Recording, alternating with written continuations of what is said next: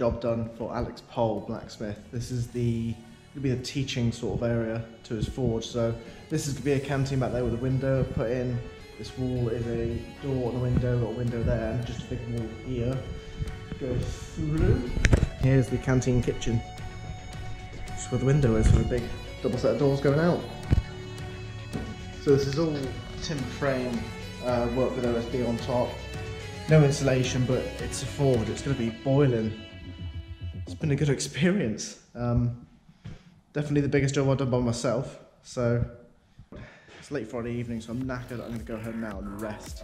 It's been a tough week, so I'll see you next week.